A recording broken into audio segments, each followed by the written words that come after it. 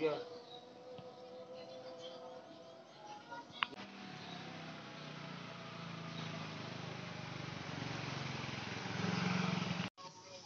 Iya Pak.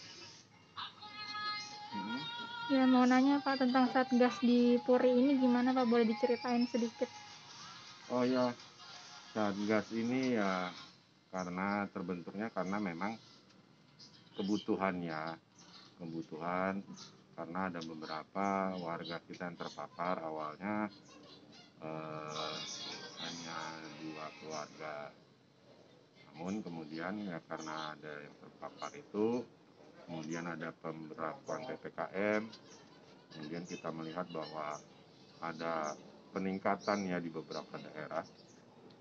Jadi eh, warga di sekitar di komplek ini maksudnya di sekitar rumah yang terpapar itu kemudian ya membantu membantu konsumsi kemudian mencarikan ini nah kebetulan keluarga yang ke- kedua itu sesak nafas gitu. Jadi kita butuh tabung oksigen gitu kan. Nah kebetulan ada warga yang punya tapi satu.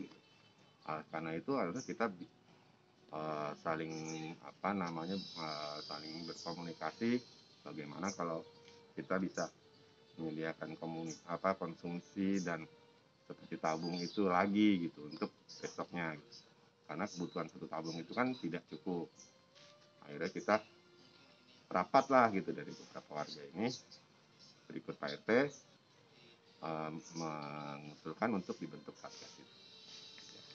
Untuk sekarang fasilitasnya ada apa aja nih Pak? Iya, eh, kita sudah memperlakukan PPKM untuk tingkat mikro ya untuk komplek ini ya seperti pembatasan masuk, ojol di stop di pos security. Ya kalau pe- apa kalau fasilitas atau sarana prasarana yang kita ini ya kita membeli eh, apa namanya termogan dua unit yaitu satu di depan dan satu dipakai untuk keliling.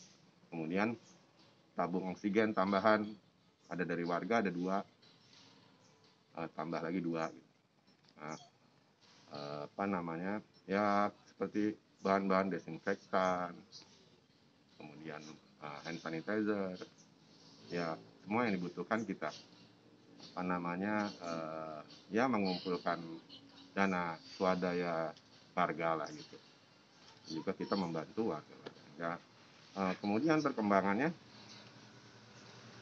warga kita ya ternyata lebih banyak yang terpapar sehingga kita lakukan lockdown full karena sudah masuk kriteria merah. Yaitu kan lima rumah gitu ya. Hmm. sedangkan kita sudah akhirnya sampai sekarang itu sudah lebih dari lima rumah. Eh, setelah seminggu ya kira-kira. Itu juga ada warga yang sudah memakai oksigen tetapi masih butuh perawatan dokter. Kemudian ya eh, apa namanya belum sempat ya baru sampai di rumah sakit lah. Setelah di puskesmas satu hari sampai di rumah sakit eh, belum mendapat kamar yang ada oksigen. Jadi masih oksigen yang bawa sendiri itu. Cuman karena eh, apa namanya mencari oksigennya mengisinya itu penuh gitu ya antri akhirnya dua nggak cukup gitu kan. Sementara di rumah sakit belum dapat oksigen. Ya mungkin sudah keputusan yang di atas juga. Yang terbaik ya warga kita eh, pergi meninggalkan kita pulang ke Tuhan. Untuk kesulitannya ada nggak sih Pak? Kesulitan untuk Satgasnya sendiri? Oh ya kesulitan utama adalah eh, yaitu menjaga apa namanya karena pemberlakuan ppkm darurat ya di lockdown lah komplek ini.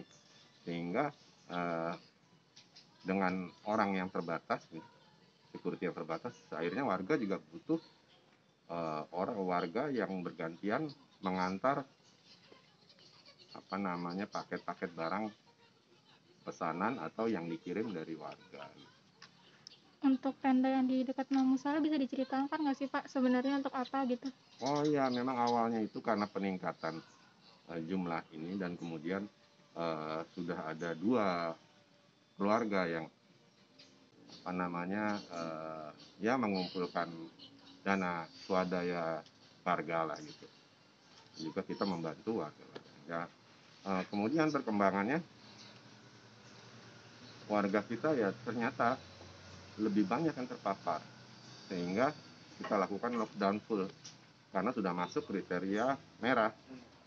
Yaitu kan lima rumah gitu ya. Sedangkan kita sudah akhirnya sampai sekarang itu sudah lebih dari lima rumah. Eh, setelah seminggu ya kira-kira. Itu juga ada warga yang sudah memakai oksigen tetapi masih butuh perawatan dokter. Kemudian ya eh, apa namanya belum sempat ya baru sampai di rumah sakit lah. Setelah di puskesmas satu hari sampai di rumah sakit eh, belum mendapat kamar yang ada oksigen.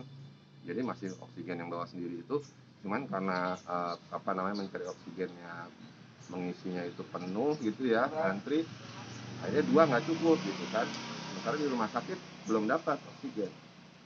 Ya mungkin sudah keputusan yang di atas juga. Yang terbaik ya warga kita eh, pergi meninggalkan kita. Pulang ke hadirat Tuhan.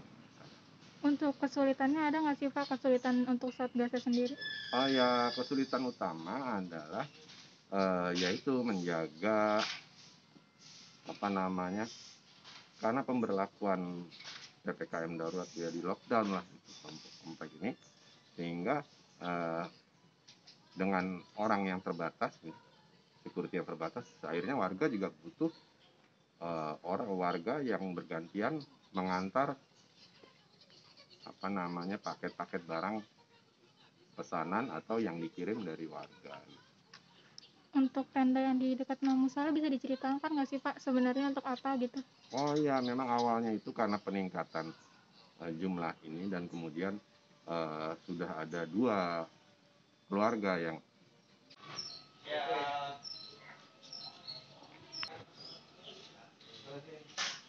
tuh